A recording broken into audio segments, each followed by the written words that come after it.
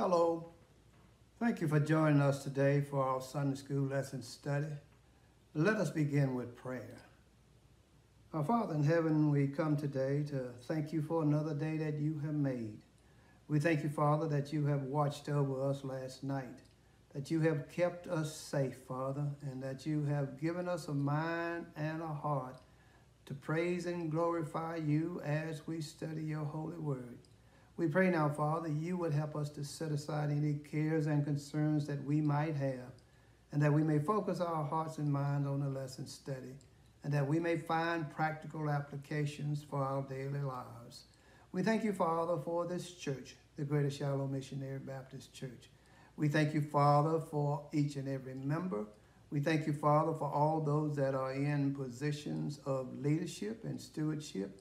We pray that you would help to keep us together as a church family and that we may be the kind of church that you have called us to be, and that is a Christ centered church where others would come to know you through your darling Son, Jesus. We pray now, Father, for those that are sick, those that are afflicted, those that are suffering from the loss of some loved ones those that are dealing with the many issues that surrounding their life, the economic slowdown, the global pandemic, the wars and the things that we see going on in and around our world, as well as in our own nation, Father. We pray, Father, for this neighborhood. We pray for this city. We pray for this county and for this uh, state. We pray, Father, for our nation. Help us, Father, to come to know that you have called us to love one another. And that, Father, you have made us all equal in your eyesight. And that, Father, one day each and every one must stand before your judgment seat and give an account for the deeds done in our bodies. We thank you, Father, for your darling Son, Jesus, who, because of his life, his death, his burial, and his resurrection, through faith in him, Father, we too can have life and we can have it more abundantly. In Jesus' precious name we pray. Amen. Again, I say thank you for joining us for our Sunday School lesson study today as we continue to study in our summer 2022 quarterly lesson, and our topic has been Partners in a New Creation.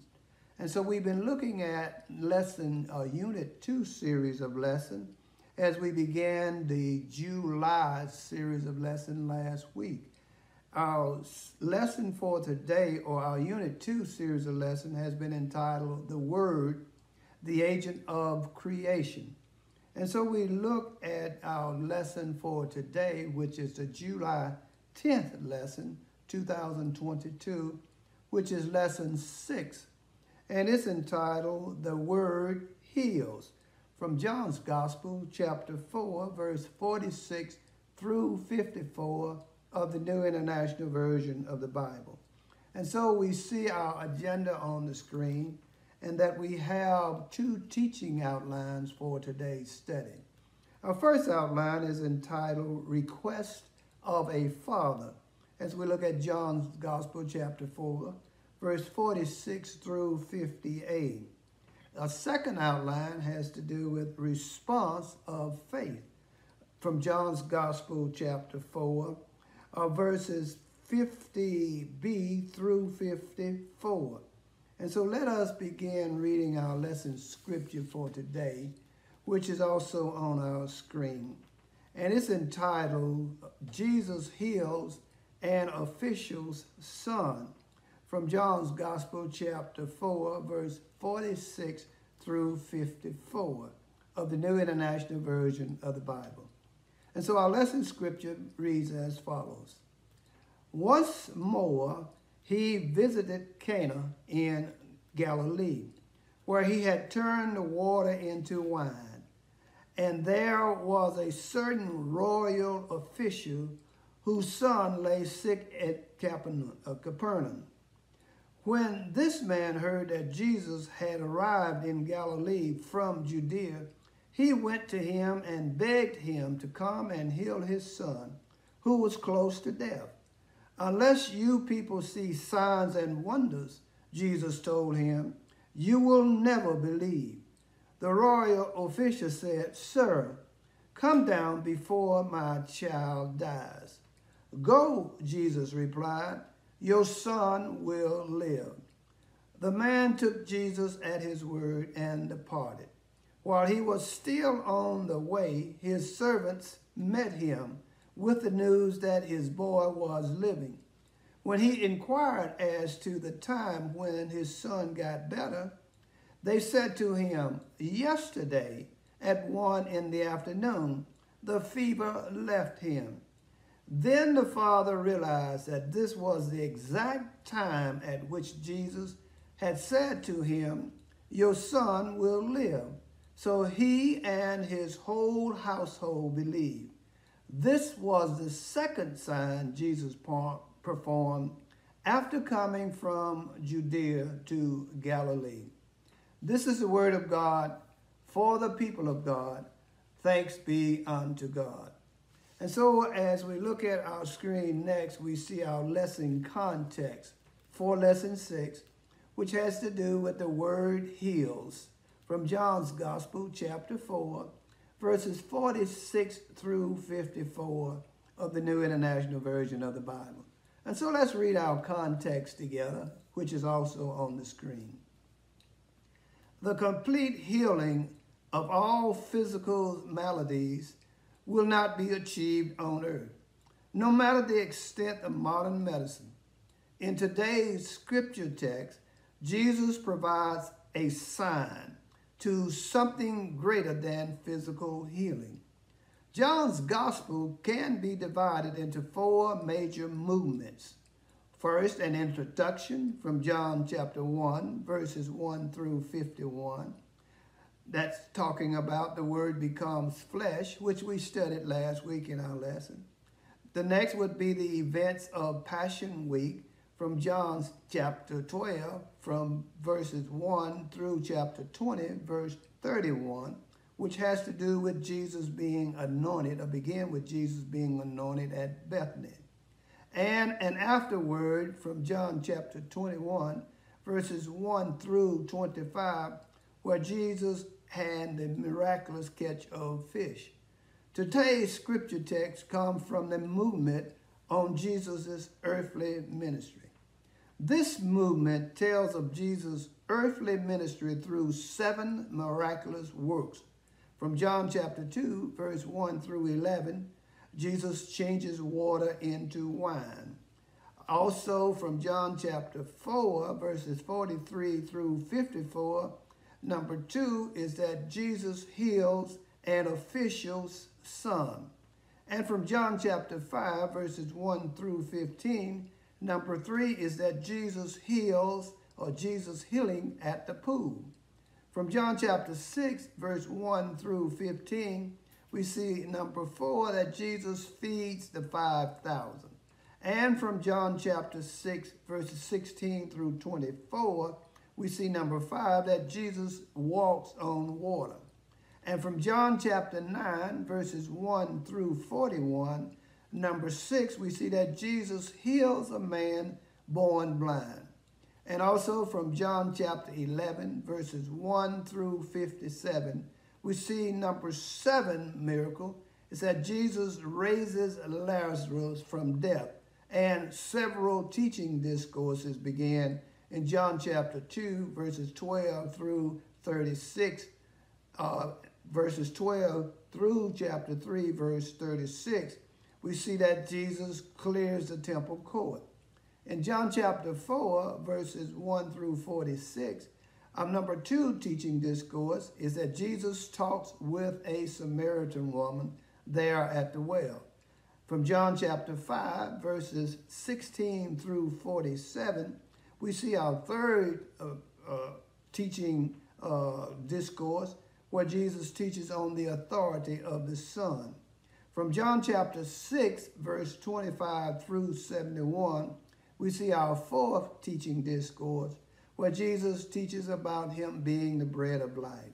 From John chapter 7, verses 1 through John chapter 8, verse 59, we see number five discourse where Jesus goes to the festival of tabernacle.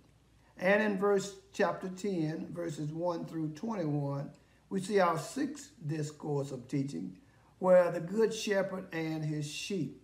And then finally in John chapter 10, verses 22 through 42, our seventh discourse had to do with further conflicts uh, on Jesus' claim. Presented together, these movements flesh out the nature of Jesus' ministry and provide evidence that this is God's chosen one from John chapter 1 verse 34 and also in John chapter 20 verse 31 that Jesus is the Messiah, the Son of God. Today's lesson scripture text comes as Jesus returned to Galilee the region of Jesus' first public miracle at Cana in John chapter 2, verses 1 through 11.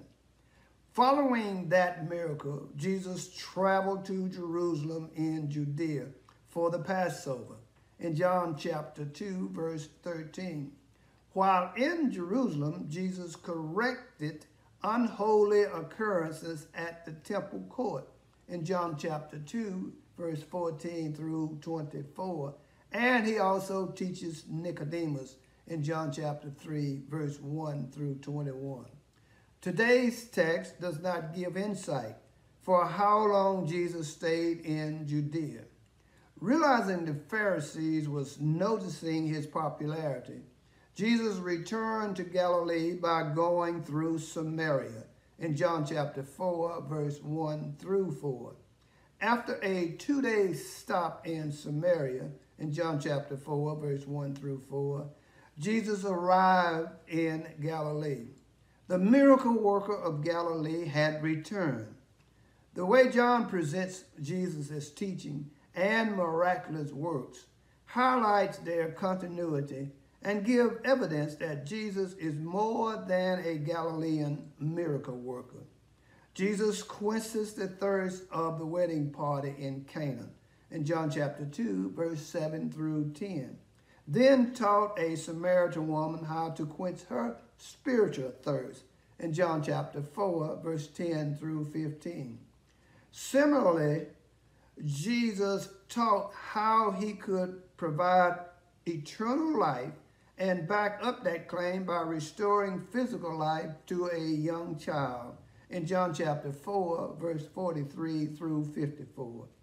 John's inclusions of Jesus' teaching reveals that Jesus is more than a miracle worker. Jesus is the Son of God who brings eternal life in John chapter 3, verse 14 through 16, and living water in John chapter 4, verse 13 through 14. John's gospel places a high emphasis on Jesus' miraculous work.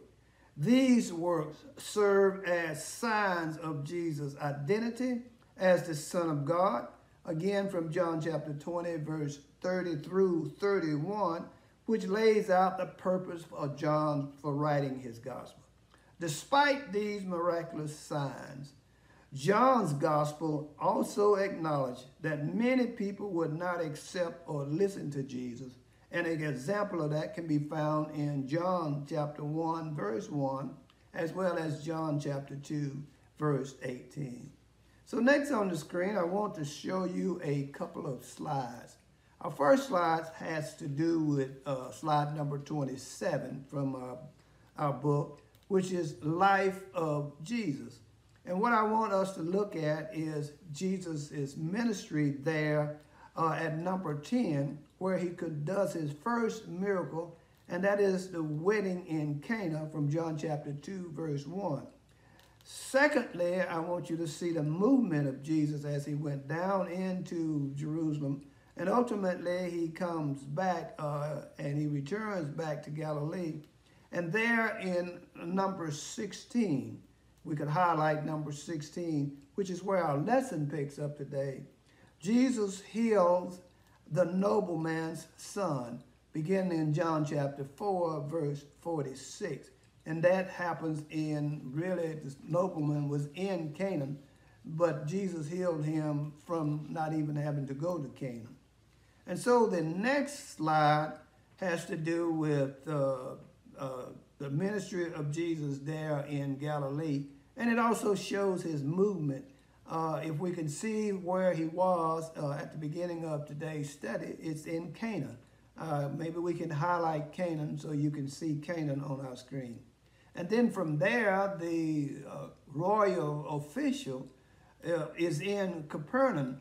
And we'll see as we study that he leaves Capernaum and he comes down to uh, Canaan to beg and plead with Jesus to heal his son. And so our lesson picks up in today's study at a request of a father, which is John chapter 4, verse 46 through 58 of the New International Version of the Bible. And so this father was a certain official. So let's read verse 46 in our lesson uh, study, which is on the screen. Once more, he visited Canaan in Galilee, where he had turned the water into wine. And there was a certain royal official whose son lay sick at Capernaum.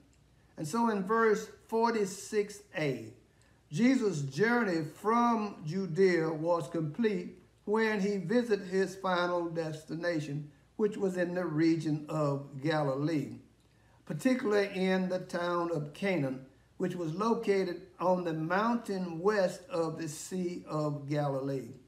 Jesus' disciples, one of his disciples, Nathanael, had come from Canaan, as we read in John chapter 21, verse 2.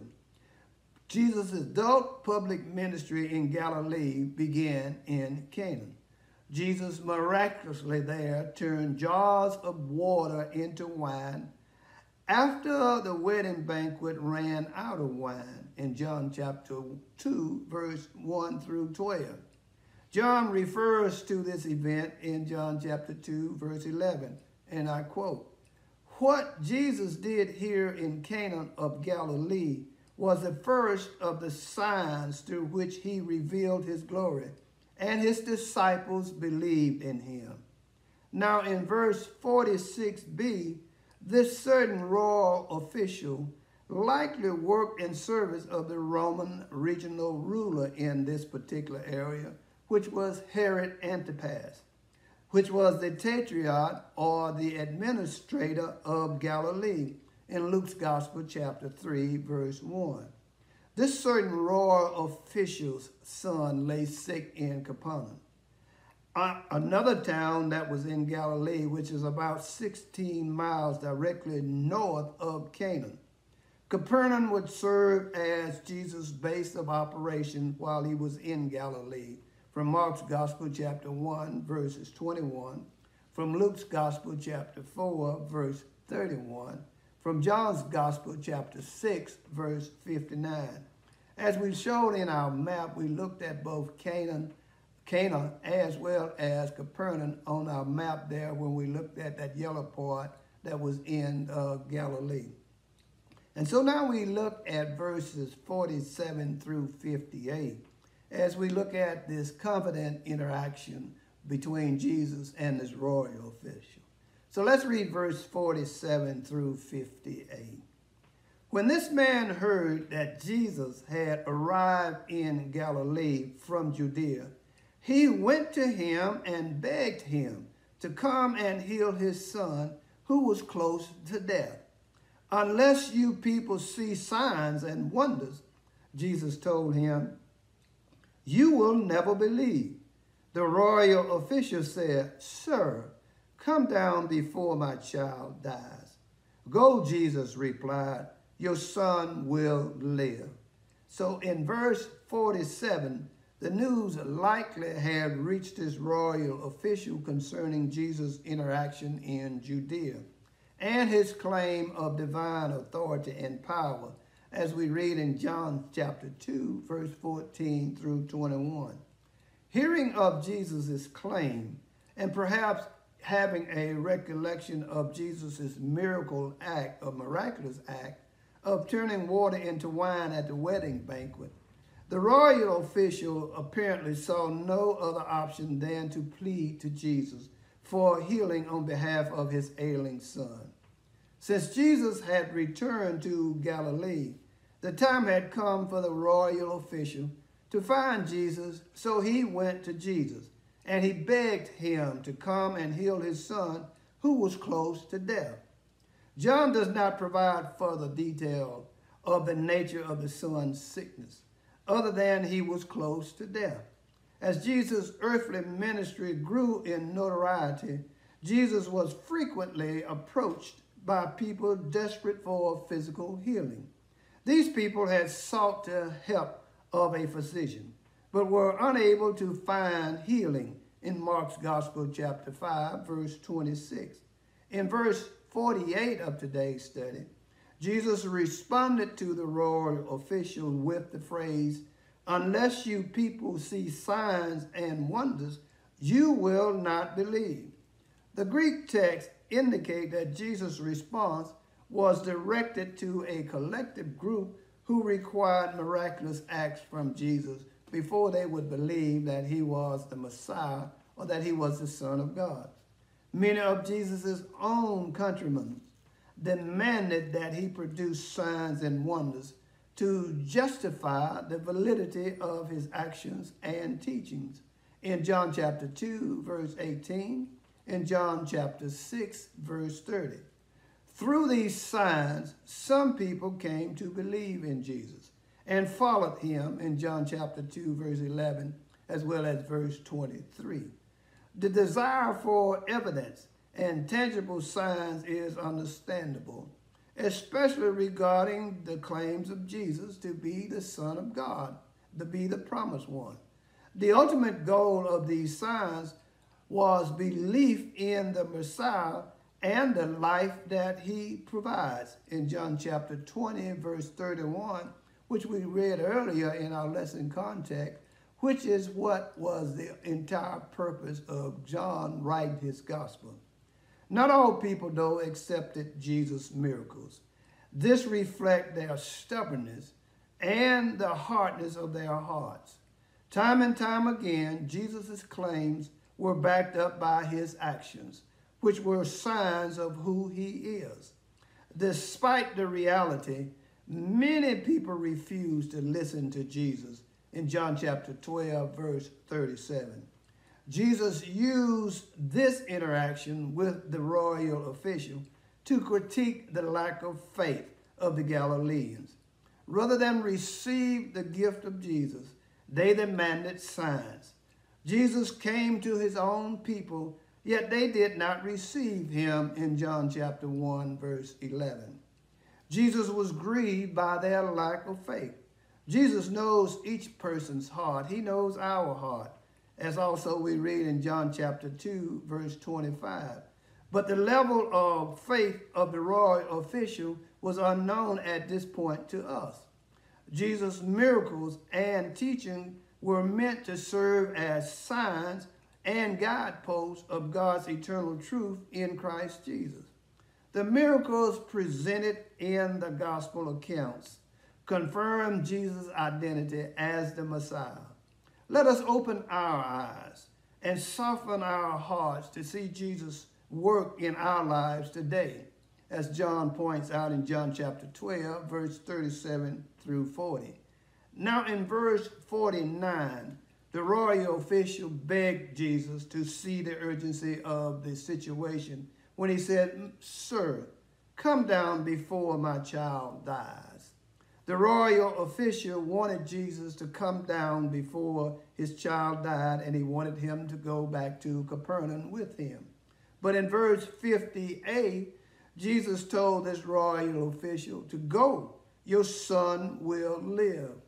Jesus is the Son of God and one with God the Father, as we read in John chapter 1, verses 3 and 4. So Jesus merely spoke the word and the official son would live. In Matthew chapter 8, verse 13, and I read, Then Jesus said to the centurion, Go, let it be done just as you believe it would. And his servant was healed at that moment. So this says that Jesus did not have to make physical contact with individuals in order for them to heal, in order for him to heal them. All he really needed to do was speak the word. And so we look now at the response here to of faith in John chapter 4, verse 50b through 54. And so let's read the trusting departure of this royal official as we read verses 50b through 52, which is on our screen. The man took Jesus at his word and departed. While he was still on the way, his servant met him with the news that his boy was living. When he inquired as to the time when his son got better, they said to him, Yesterday at one in the afternoon, the fever left him. So in verse 50b, we see that the royal official, taking Jesus as his word, he departed and began to go back toward his home in Capernaum. Because of his belief and his trust, the royal official departed and he began to return to Capernaum. The crowds, the crowds looked for a sign in order for, to believe Jesus in John chapter 4, verse 48. But this royal official, he trusted Jesus without seeing the result of Jesus' word. The royal official showed genuine faith in Jesus without the confirmation of an immediate sign. And in a sense, he fulfilled Jesus' proclamation that he made to Thomas there when he told Thomas that blessed are those who have not seen and yet have believed. And this was after the resurrection in John chapter 20, verse 29. So the royal official provided an example of the kind of faith that's necessary for all of Jesus' disciples. In verse 51, we see that while he was still on the way, while his uh, royal official was still headed from Canaan to Capernaum, the royal official's servants met him with the news that his boy was living. And so we see that the servant wanted to bring him relief and peace as they declared that the young son, his young son, was living. Despair had changed to relief, and grief had turned to rejoicing. In verse 52, at the point when Jesus declared, Your son will live, in John chapter 4, verse 50, the child experienced healing from his illness. His fever left him. Jesus' power in healing did not require that Jesus be physically present with the ailing son or the ailing child. And so we look at the result in belief, resulting in belief because of what Jesus has done. Let's look at verse 53 and let's read it together.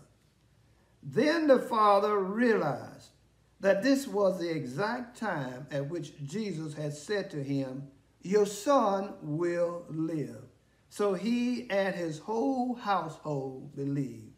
Now in verse 53a, Jesus' declaration of healing by saying your son will live and its fulfillment occurred at the exact same time according to the, uh, the, servant, the royal official servants. And so this father had demonstrated faith that Jesus would heal his son by going and taking Jesus at his word and going back to Capernaum when Jesus told him, go, your son will live. Now in verse 53b, the royal official's faith concerning Jesus' healing would affect others in his household beyond his son. So he and his whole household ultimately believed. Like the Samaritan woman that was there at the well and the villagers there from Samaria, they believed that this man really is the Savior of the world from John chapter 4, verse 4, 42. The royal official and his family believed in Jesus upon seeing the ways Jesus changes or changed their lives. And so now we see John, he documents this miracle as we look at verse 54, which is entitled Documented Miracle. And so let's read verse 54 together, which is on our screen. This was the second sign Jesus performed after coming from Judea to Galilee. So in verse 54, John documents the miracle by the phrase, this was the second sign Jesus performed after coming from Judea to Galilee. Jesus' previous miracle in Galilee was in Canaan in John chapter 2, verse 11. There, Jesus changes water into wine at the request of his mother. Although this was only Jesus' second miracle in Galilee that he had done, the Galileans had seen other miracles while in Jerusalem for the Passover in John chapter 2, verse 23.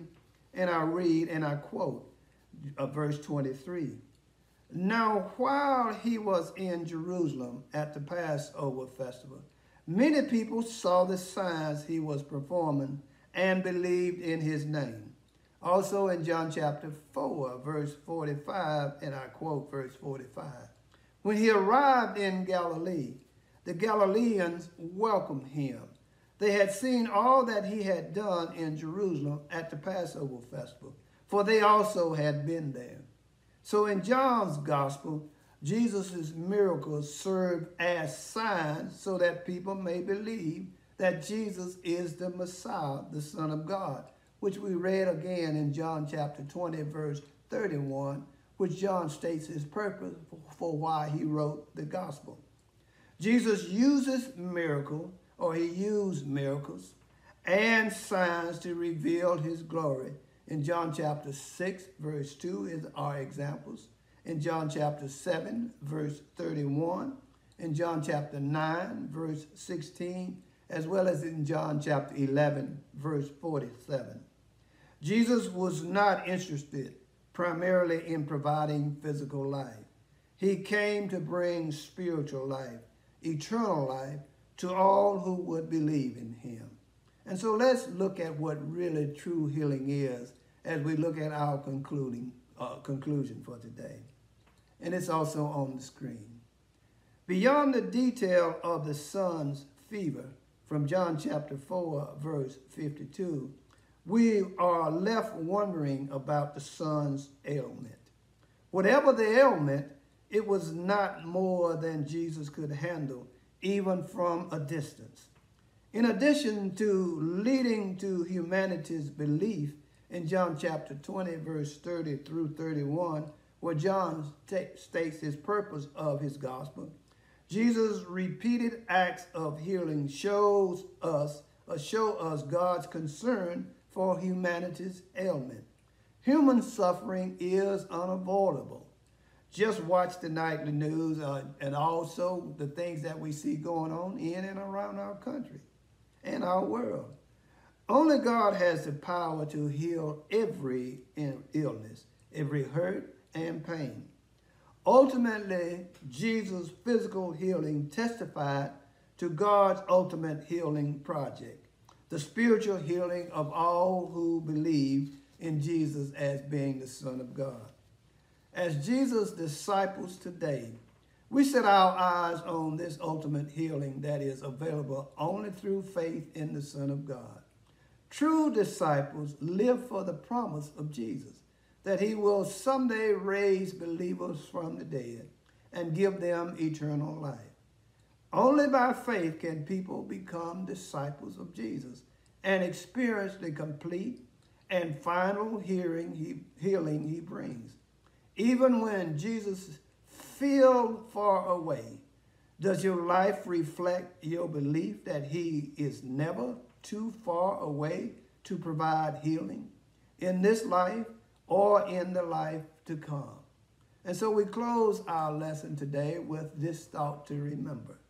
Our God can heal in every way.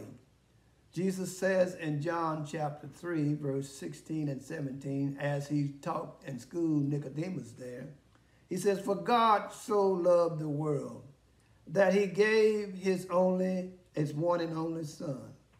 For whoever believes in him shall not perish, but have eternal life. For God did not send his Son into the world to condemn the world, but to save the world through him. From John chapter 3, verse 16 and 17 of the New International Version of the Bible. So let us pray.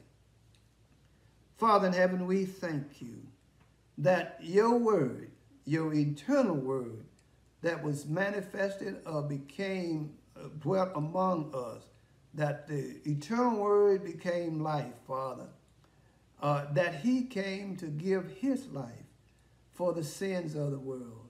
We thank you, Father, that not only does he have power over the elements that he created, but also, Father, he has power to heal as well as he has power over death, as we see as we continue our study in the Gospel of John.